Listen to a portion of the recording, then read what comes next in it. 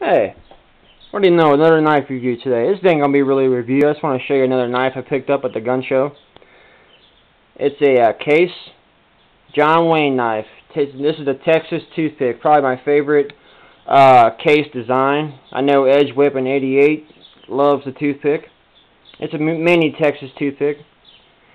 This is chestnut, and it's got the Duke laser etched in it. Real, real nice. It's got a silhouette of them in there as well.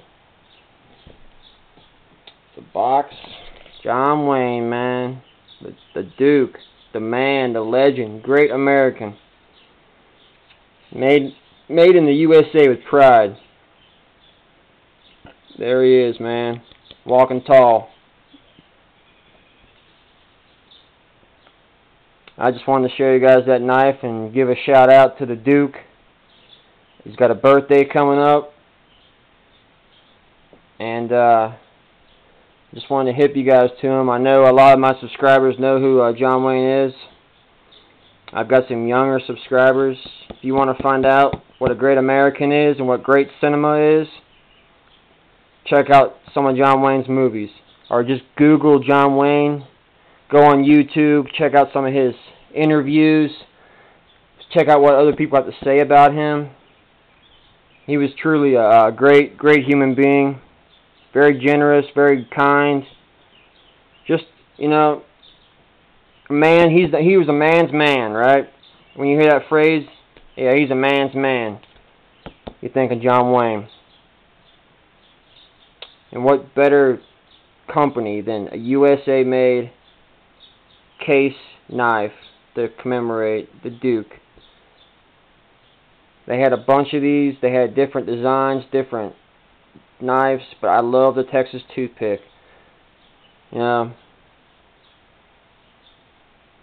it's got brass uh, liners there, chestnut, scales. Nice little knife. I had to get one.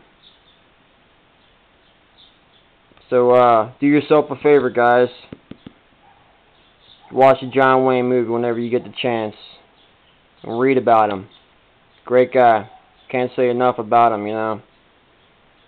Truly, uh, you know, an inspiration to us all. And if he was alive right now, he'd be he'd be pissed. I'll tell you that right now. He'd be pissed to see what's going, see what's happening to this country. To see what, uh, you know, who, how they're trying to take away our rights and, uh, yeah, that's what I got to say about that. So, uh, just a little tribute to the Duke. Alright, y'all. Be safe. Stay sharp. And if you haven't, if you don't, go get yourself an American flag and fly it. Fly it high, fly it proud. Don't be ashamed of this country. Don't be ashamed of what people are doing to it. You know, this country has a great history, and it's going to have a great future, right? So just just be proud and think of great people like the Duke. Take care now.